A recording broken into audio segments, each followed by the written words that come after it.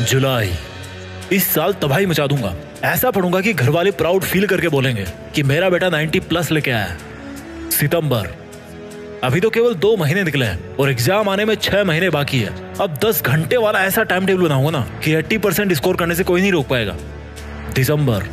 यार, पढ़ने का मन तो बहुत करता है, लेकिन सर्दी में बिस्तर से निकलने की हिम्मत नहीं होती। धूप में बैठ के पढ़ता हूँ तो गर्मी लगती है और रूम में बैठ के पढ़ता हूँ तो सर्दी लगती है। जनवरी। आज नए साल का पहला दिन है और आज मैं प्रॉमिस करता हूँ कि अब एक भी सेकंड बर्बाद नहीं करूँगा। ये जो दो महीने बचे हैं ना, इनमें पंद्रह पंद्रह घंटे पढ़ूँगा और बचा हुआ सिलेबस पूरा करूँगा। सेवेंटी परसेंट तो कहीं नहीं जा रहे। फरवरी।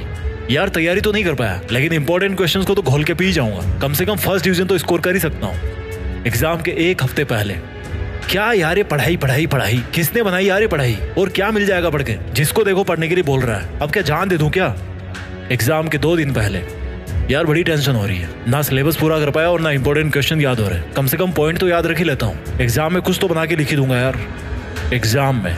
यार क्वेश्चन तो देखा था, लेकिन याद नहीं आ रहा। और ये वाला तो टीचर ने टिक भी करवाया था, फिर भी याद नहीं किया। और उस बगल वाले को देखो सप्लीमेंट्री कॉपी भरे जा रहा है। दोस्त भी यार नकल नहीं करवा रहे। पहले तो बड़े बोलते थे कि एग्ज़ाम में चुपके से हेल्प करेंगे एक दूसरे की। एग्ज़ाम फिनिश करने के बाद। यार सिक्सटी तो बन रहे हैं वैसे। बाकी देखो कॉपी चेक करने वाला मार्किंग कैसे करता है। रिज़ल्ट के दिन।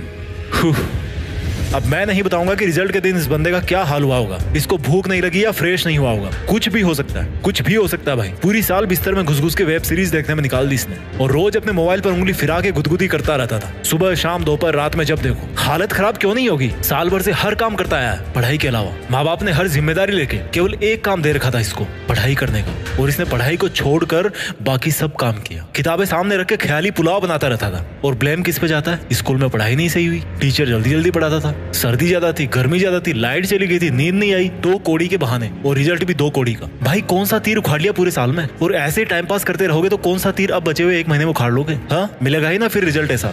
अगर ईमानदारी से चलोगे ना तो अभी भी टाइम है। अगर टाइम वेस्ट नहीं करोगे तो अभी भी टाइम है। अगर थोड़ा सा नींद का मोह त्याग दोगे ना तो अभी भी टाइम है। और थोड़ा सा अपने माँ बाप की आँखों में झाँक लोगे ना तो भाई, अभी भी तुम्हारे पास टाइम है। तुम इरादा तो बनाओ टाइम ही टाइम छह घंटे सोने के, दो घंटे खाने पीने, नहाने धोने के, फिर भी सोलह घंटे बचे हैं। एक घंटा रेस्ट का और निकाल दो, पंद्रह घंटे बचे। क्या करते हो इन पंद्रह घंटे में? बाबू सोना का रोना धोना, पूरे साल से करते आए हो। थोड़े दिन और रुक जाओ, फिर कर लेना गर्मियों की छुट्टियों में। वैसे भी पूरे साल भर तो छुट्टी मना रहे थे ना? अभी से इतने कैजुअल बन गए तो तुम्हारे सपनों की कैजुअलिटी तो हो ही जाएगी ना? अरे पढ़ी तो रहे थे पूरे साल, कोई कंपनी तो नहीं चला रहे थे। सुनना अच्छा नहीं लग रहा ना?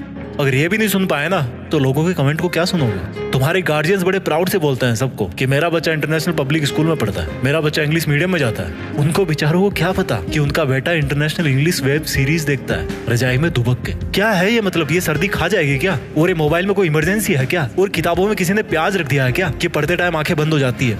बुरा लग रहा है ना?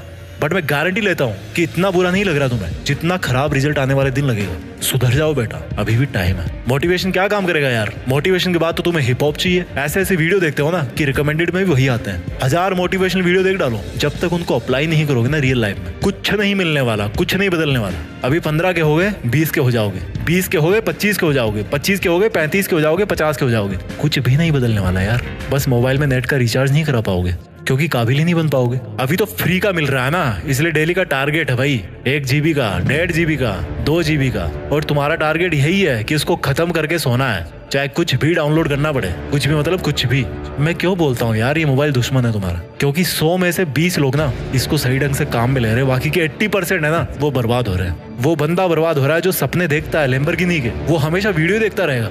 कभी नहीं आने वाली बेटा लेम्बर तो। एलन मस्क का नाम सुना है? किसी ने उनको बताया नहीं?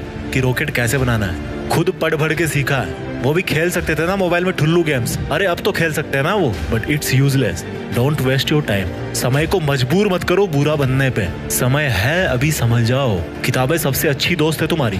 भले ही ब्लैक एंड व्हाइट है, पर तुम्हारी ज़िंदगी रंगीन करके छोड़ेगी। एक बार दिल लगा के देखो। और जो ये बोलता है ना कि कुछ बड़ा करने के लिए पढ़ाई करना ज़रूरी नहीं है तो भाई कान खोल के सुन लेना। बिना पढ़े कोई बड़ा नहीं बनता। उसको पढ़ना पड़ता है, सीखना पड़ता है। भले ही उसका टॉपिक अलग हो फ़ील्ड अलग हो। जब बुखार चढ़ती है ना तो रोता हुआ किसके पास जाता बंदा? डॉक्टर के पास ना। और अगर वो दवा देने वाला डॉक्टर भी ना, वो अगर ठीक से पढ़ाई नहीं किया होता, और अगर वो आपको बुखार के बदले दस्त की गोली देते तो क्या हाल होता? अगर वो एरोप्लेन बनाने वाला थोड़ी सी गलत कैलकुलेशन कर लेता तो क्या होता? आ जाता ना ज़मीन पे। छोटी छोटी चीज़ें मैटर करती है यार। और ये जो पढ़ाई करने का टाइम है ना, वो तो बहुत मैटर करता है। पेरेंट्स बेवकूफ़ है क्या यार? जो तुम्हें पढ़ने के लिए बोलते हैं, कुछ सीखने के लिए बोलते हैं, काबिल बनने के लिए बोलते हैं। क्योंकि भाई उन्होंने तुमसे ज़्यादा ज़िंदगी देखी है, तुमसे ज़्यादा स्ट्रगल किया उन्होंने। और वो तुमको उन सबसे बचाना चाहते हैं, जो उन्होंने फेस किया है। और तुम हो कि ये सोचते हो कि क्या पढ़ाई पढ़ाई पढ़ाई लगा रखी सबने।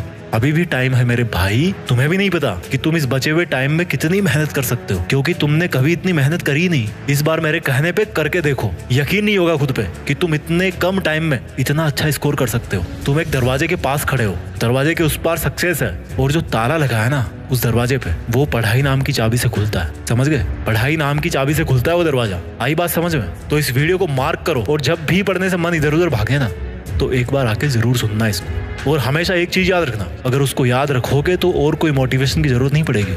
कि देश में अपना नहीं, बल्कि दुनिया में ना, मेहनत करके दुनिया में देश का नाम करना है। जय हिंद, वंदे मातरम।